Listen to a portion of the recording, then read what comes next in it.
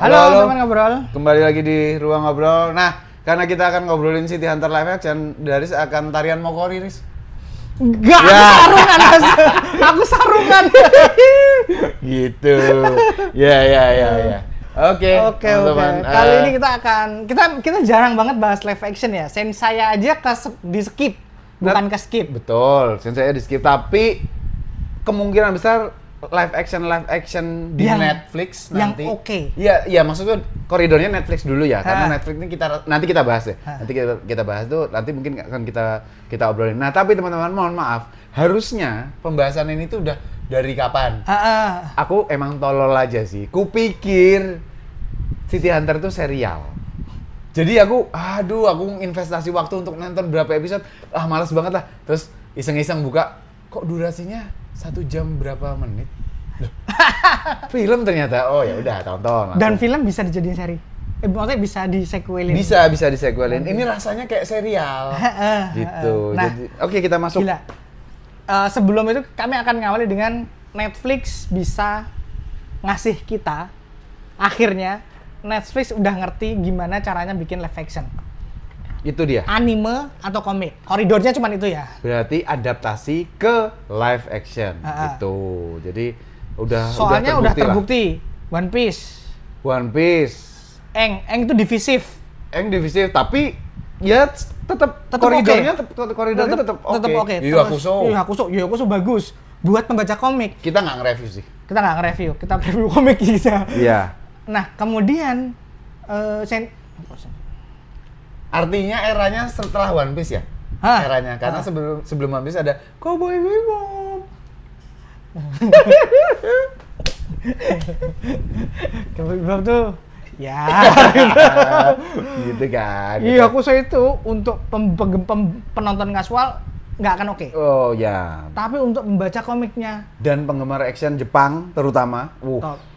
Nah, City Hunter ini aku sangat pesimis. Ya. Sangat. ya ya bisa dipahami, bisa dipahami. Betul betul betul. Soalnya City Hunter yang oke itu yang Jackie Chan. Ha!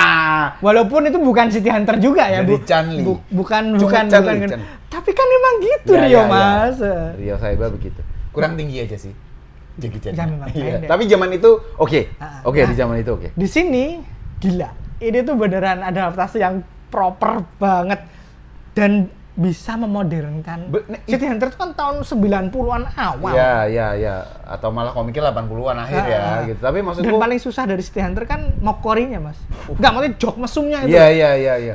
Eh, Rio Saibanya dari awal sampai akhir tetap mesum, Dan itu memang Rio Saiba. tetap bisa terdistraksi distraksi oleh kemesuman apa pun. Dan dia keren.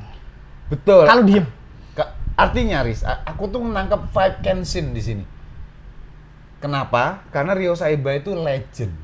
Oh, itunya. Dia OP Iya. banget. Ha-ha, terlalu OP sih. Iya kan? Maksudnya, Hmm. tapi di saat sisi yang di, di saat yang bersamaan pun dia bisa jadi sebodoh dan sekonyol Itu. itu Ha. gitu loh. Jadi maksudku eh, Kenshin kan Oh, dis- disclaimer dulu kita nggak akan ngomongin ceritanya ya. Enggak, enggak. Kita, Nggak, kita nggak akan ngomongin ceritanya. Enggak, enggak ceritanya. Kenshin kan juga live action yang pada pada taraf tertentu berhasil membuat Kenshinnya jadi oke kan. Ha, kan ha, gitu kan. ha. Jadi jadi bener yang Daris bilang memodernkan itu sulit karena Rio Saiba yang di komik nggak ada HP. Dan maaf, Rio Saiba itu eh, bukan protagonis yang bisa diterima di zaman sekarang. Diteladani aja nggak bisa.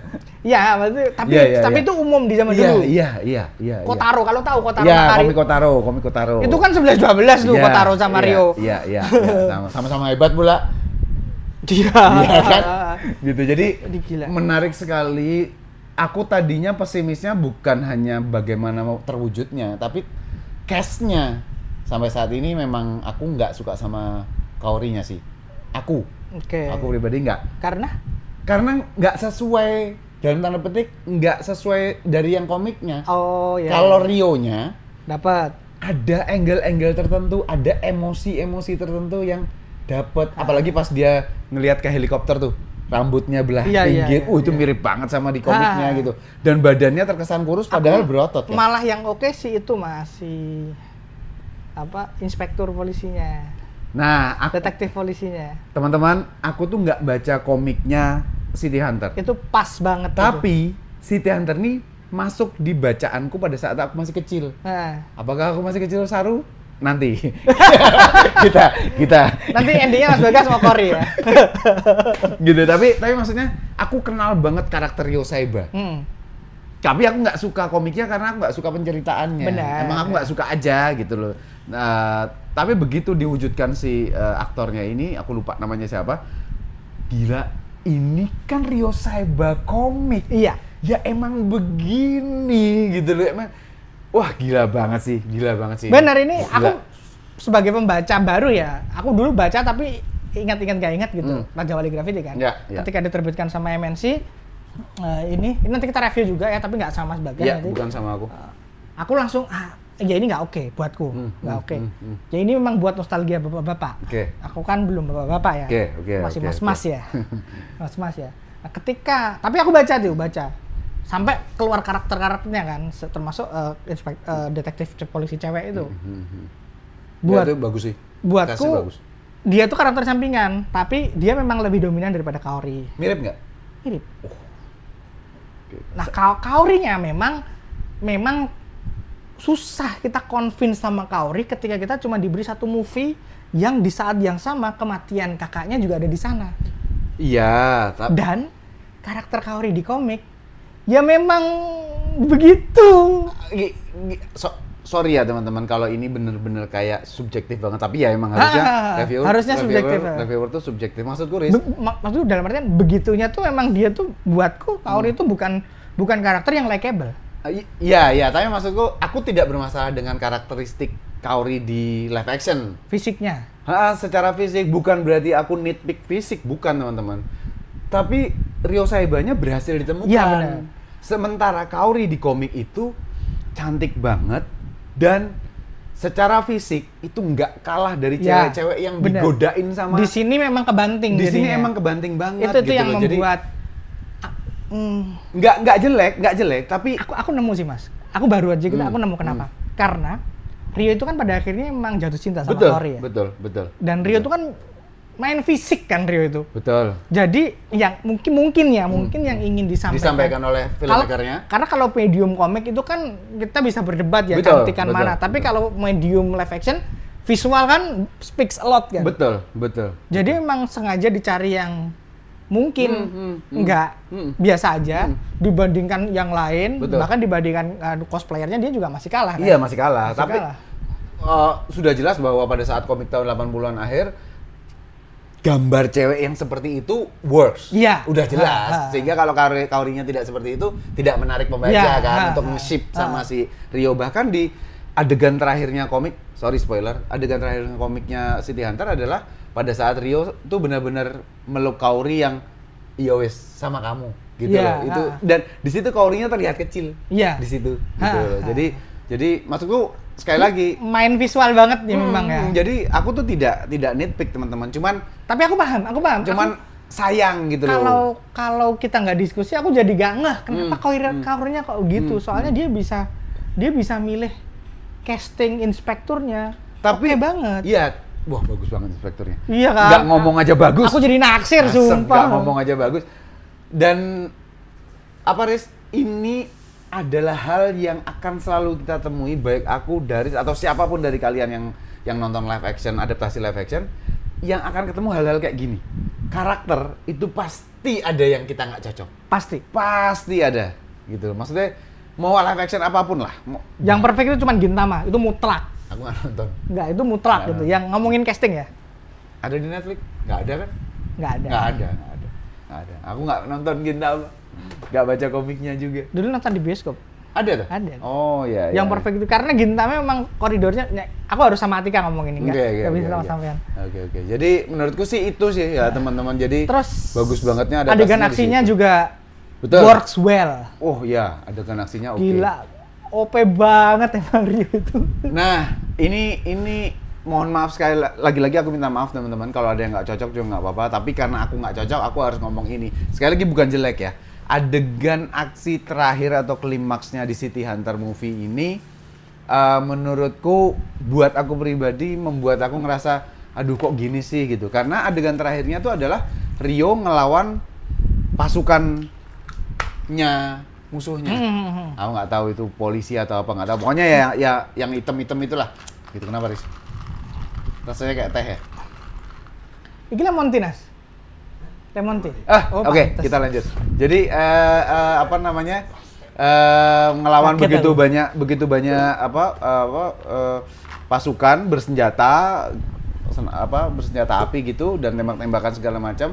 Rio Saiba nunjukin ke Dikdayaannya. kedida- digdayaannya dia bahwa kata Daris emang adegan-adegan kayak gitu emang ada di komik. Oke, nggak apa-apa. Tapi maksudku teman-teman, satu orang jagoan ngelawan banyak orang tembak-tembakan itu oke.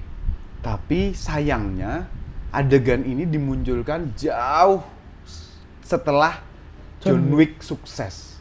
John Wick itu di empat film, empat, empat film, Empat. empat filmnya itu menunjukkan itu yang berekskalasi terus.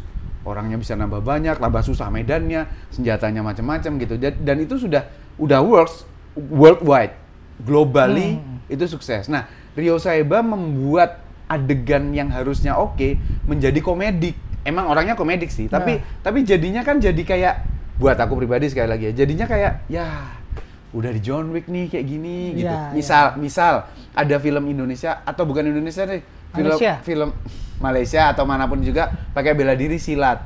Kalau tidak lebih bagus dari Raid dan Iko, Ah. ya ya kayak penontonnya akan Kan, ah ya, gitu. ada Nah, kayak gitu sih, kayak gitu. Kalau- adegannya nggak jelek. Kalau aku Adegannya koridor, nanti nontonnya tuh memang terbiusnya sama komik sih. Iya, Ya. Iya, Jadi iya. aku ngelihatnya semua adegan-adegan aksinya tuh eh, sebagian besar terutama itu bener-bener Rio Saiba di komik kayak gitu. Hmm, hmm, hmm, hmm. Gila nembak, teng. Ya. gitu. Ya dia Ya. dia tuh jago ma- mana pakainya revolver pula ya. Apa reloadnya tuh? Itu kan pamer ya. Dia tuh Ya. kan bisa pakai handgun biasa, pakainya Ya, ya. revolver Ya, pamer. Ya, ya. Ya. Dan ya tingkat kemesumannya luar biasa. tapi somehow terwujud dengan masih bermartabat. Ben, Maksudku, rupanya yang bermartabat. iya maksudku untuk tontonan Iya, iya. itu tuh kayak kita tuh tahu bahwa itu jokes dan sudah berhenti di situ aja. Sa- sat- satu lagi, yang paling aku suka adalah masukin cosplay di sini. Oh, bagus banget. Mereka tuh ngerti banget pasarnya siapa dan mau apa. Sebagai orang yang selama dua tahun ini udah bikin Dan itu integral sama story. udah udah bikin mungkin lebih dari 12 event atau lomba cosplay aku dan teman-temanku. Bukan aku ya, aku nggak ikut. Aku ngerasain banget bahwa emang ada yang annoying sih dari yang Dan itu kan dari- Rio, Rio make Iya, iya, iya. sih, nggak jelas Dan. Rio tuh kan terkoordinasi dengan baik Iya. ya. Dia tuh planner dan skimmer yang luar biasa oke. Gitu loh. Jadi aduh ya ampun tanpa walaupun terdistraksi mulu Iya, ya. iya, iya. Enggak lah, aku nggak mau lihat apa itu anak-anak. Tapi fotonya gini, wah, kirim ya referensi. itu, gitu. Asik banget pas Kauri juga beresin koleksi-koleksi DVD Hmm, pornonya tuh. Uh, asik banget. Maksudnya, Tip ya nanti. ah, iya sih. Tapi maksudnya tuh kayak, "Eh, jangan itu, eh yang ini udah nggak keluar lagi. Dan itu kan emang interaksi Kaoru Rio yang alami. Iya, iya, iya, iya, iya, iya. Tapi ya, ya oke lah. Oke.